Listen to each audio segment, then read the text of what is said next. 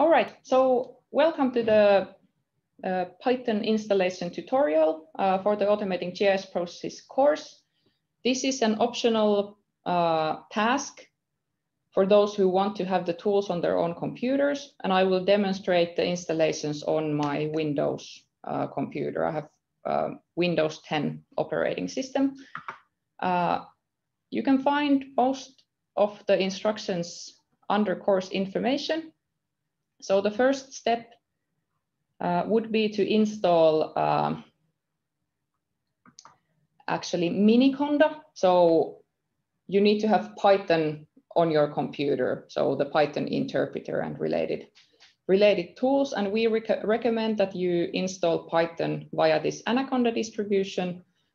You can install the full Anaconda, so it will come also with tools for R and all these readily installed packages. But for this course, we actually recommend that you install this Miniconda. I'll show the documentation quickly, which is a mini version of Anaconda. It comes with Conda, which is the package manager, and then, then some very basic ingredients. So it comes with a basic Python installation.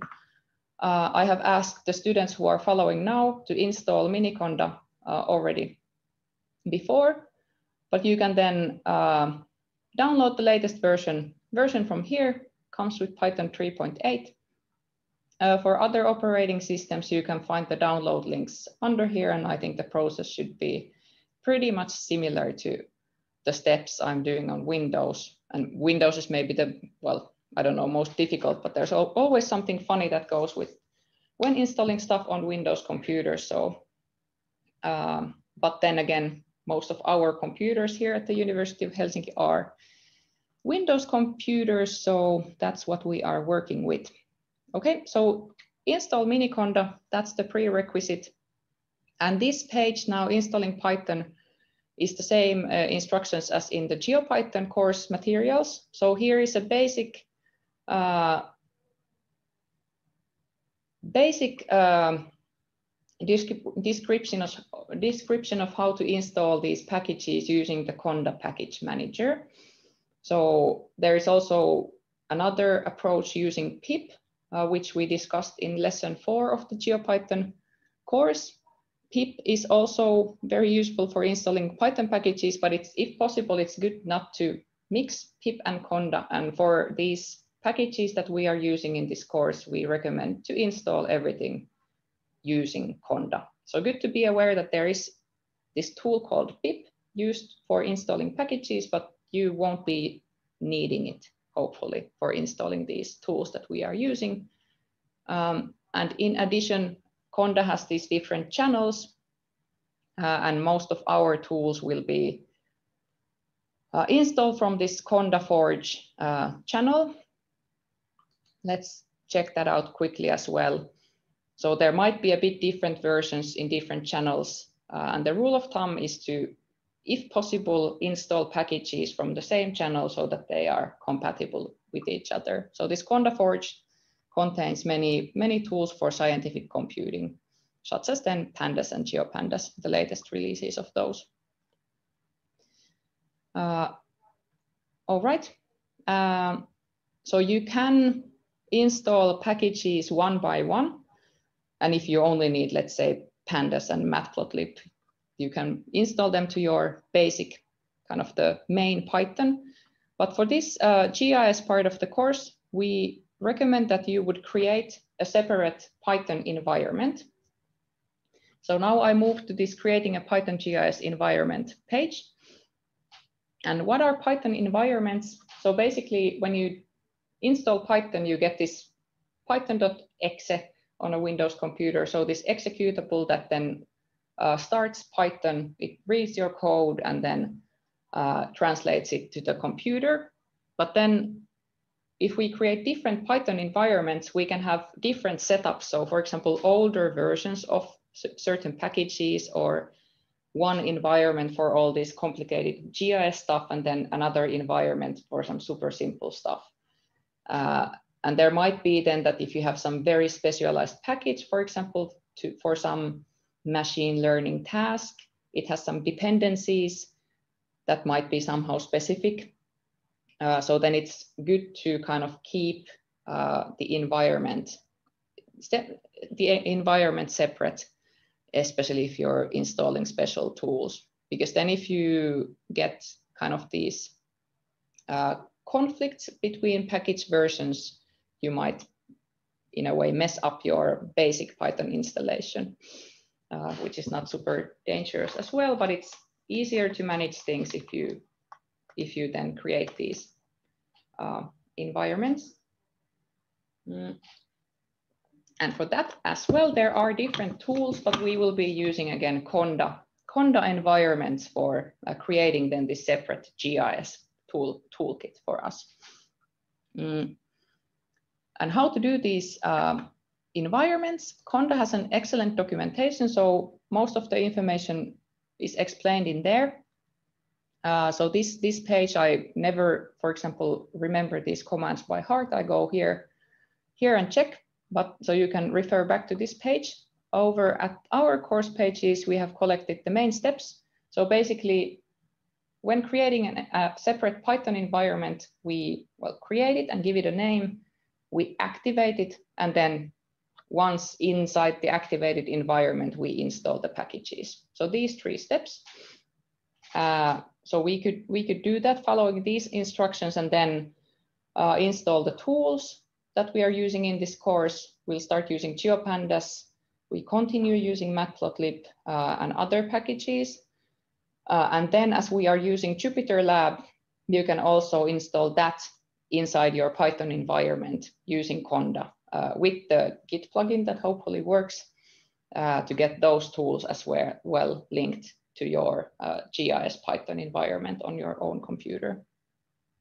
So we could create the environment, activate it, and then run all these commands on the command line.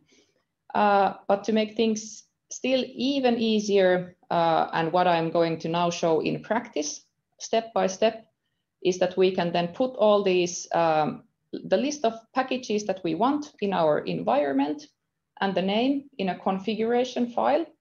Um, so this is this kind of YML uh, file, which is human readable, and this will then tell to the computer that what, what name will our uh, environment have, from which channels we want to install these packages, we can even specify the Python version. So for some tools, you might find some script from the internet that only works with Python 3.5, or some packages that are only work with an older Python version, might be possible. Mm, so you can specify that, and then list of the list of the packages. This pandas pandas poke comes from this uh, separate channel, so you can specify it in there, and you could even specify uh, specific versions for different packages. But here we want to install all the latest tools uh, based on this list. Mm -hmm. And then once we have that in a file, we can just run one command and then uh, our computer will, will do all the installations. So let's do that. I'll show it. And then after I have finished installing, I'm happy to take questions. And if there are some problems, we can then solve those. Uh, so we have this file uh, hosted in the course web page GitHub repository. So I opened it in a new tab. So now I'm over at GitHub. Mm, and I hope you know that you can download files from GitHub by pressing the raw button. And then just as this is a text file, basically, I can save as. So you need to have the file on your computer in order to save it. And there might be some funny Windows stuff going on um, when doing that. So I just have, I have a temp folder in my uh, codes directory on the local C drive. So I recommend, especially those who have a computer from the University of Helsinki, so try to work in some directory that is under the C drive and probably you have this local data or HY data folder. So work rather in there than on this network drive uh, for doing this kind of running running scripts and things like this. You might it should work also in the network drive, but this is at least like uh, more clear what's happening. So I save the file, check that there's no funny uh, extensions coming, file name py38, so Python 3.8 GIS just tells a bit about the contents. Uh, I copy that uh, and then save. So now I saved the file. Mm, let's still double check that I didn't get, yeah. So this is maybe a good example. So make sure that it's actually a .yml file. Mm, somewhere on your computer and uh, make note on where you downloaded the file. Okay, so I do so that I copy this address, so the uh, file path already now, you'll see later why. Uh, then uh, we should open the command line. And here again, there's multiple possibilities. You can just open the uh, command line in Windows. You could open the PowerShell, which is a bit more powerful, I guess. Uh, but now that you have installed Miniconda or Anaconda, I recommend that you go to the search of your Windows and then type in Anaconda uh, prompt. So let's work in the Anaconda prompt because at least there you can access the Conda tools. You should be able to access the Conda tools with any command line uh, prompt window, but sometimes there might be problems with uh, if they are not in the path variable uh, because, well, long story short, Conda is installed somewhere. And if I now, now type in Conda, uh, you can do that. So you should get this uh, kind of help or info uh, print out of this Conda tool. If you get some error, so then uh, we can check later what's going on.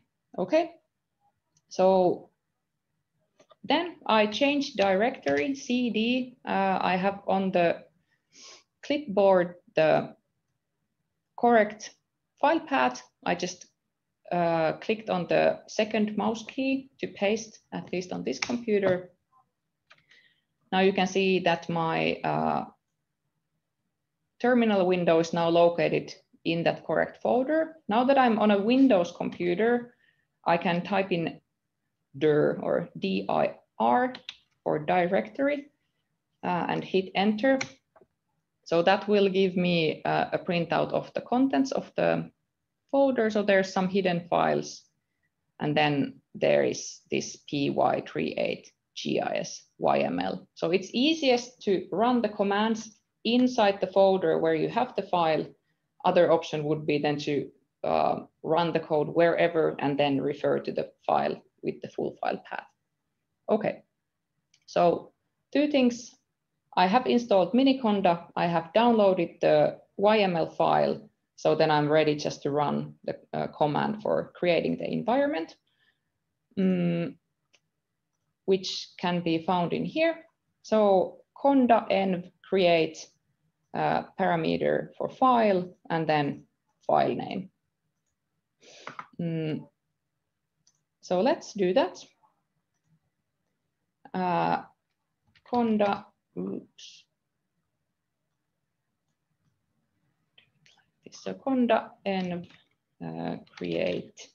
Actually, sorry, I'll jump back for a bit because I want to, if you want to on the computer still verify and modify the contents of the file, you can do that by opening, opening it in your favorite text editor, I'm a big fan of Notepad++, and you can see that I have over 100 open tabs in there because you can close Notepad++ without actually uh, saving the files. Anyhow, uh, what I want to do, you don't have to do this, but I want to change the name because I already have an environment called Python GIS. So I will call it, you, if you want, you can go and call it GIS but I also have that one, so I, I won't do it. I will call it AutoGIS 2020. The name doesn't matter, but it's good that it's something that's short and quick to, quick to write because you, you'll be needing to activate the environment every now and then. Okay, I changed the name as mentioned, you don't have to do it, but you can call it GIS, for example. That would be a good name for the environment. Everything else is the same. Uh, and then I continue where I were. So let's still open this page. So then um, conda env create file name py create. And again, if you're lazy, you can press the tab key, hit enter, and then let's just hope that everything works as expected. So this will now take a while, especially because we are installing, uh, well, many packages, which then have many dependencies. So uh, we are almost, if this command now works, then we are almost done in a moment what happened. So it will start solving the environment. Um, and then what, what's the next step? Executing the transaction or something like this. Hmm. Okay, so if you get file not found, so you should verify that you are in the correct folder. So what I did here is that I opened the command prompt window or Anaconda prompt. Then I went on the C drive CD folder name. Then I verified that when calling this conda env command, my uh, terminal window is located in inside the folder where the YML file is located. So check that.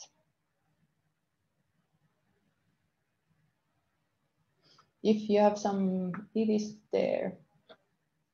Well, then uh, check the file name, check that there wasn't, at least my computer wanted to add this .txt extension there for some very stupid reason. So go to your file browser and check that the file name is .yml and nothing else.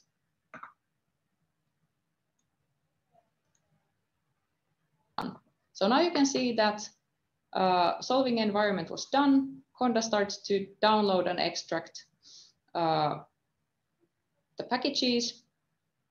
Mm. Uh, and there is only a couple of more steps and then it's done. So I said that this will take a while.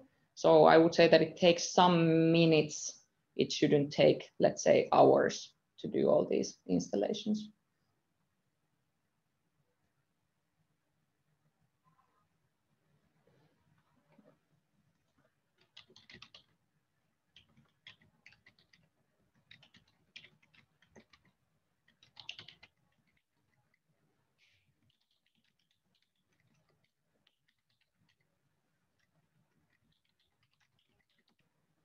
Okay. Mm, so there's things happening on the background, preparing uh, the transaction. So that means the process of uh, downloading and installing the packages and probably verifying the dependencies and taking care of all that. And then we can soon see how we can then start working on, on the environment that we created. So how can we then open Jupyter Lab on our computer with, with these GIS tools. Mm.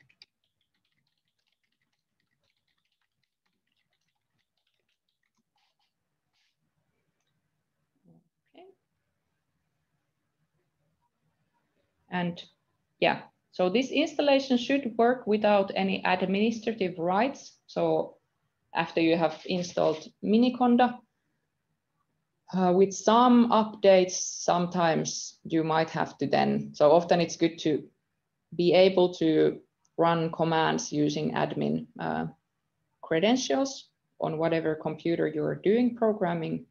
But for this, um, it shouldn't be a problem. So my process finished. I'll show now how to activate the environment and start working, and then uh, we can continue with solving any issues if there were. So you can see that Conda is very nice and tells us that to activate, so it's done, to activate the environment, use Conda activate AutoGIS 2020. So let's try that command, Conda activate AutoG. Hmm. Okay, so and actually in this uh, Anaconda prompt, you can see that we are now in the base environment, which refers to that if I would launch Python, it would use the kind of default installation or my base Python installation if I have happened to add something in there. Now that I run this Conda activate AutoGIS, you can see that I'm now linked to this uh, AutoGIS environment. Uh, and then first, just to test that things work, if you type in Python, uh, so then uh, this environment should, should launch the Python interpreter. It will tell you which version, so it's the very latest version. I hope that's fine, it should be.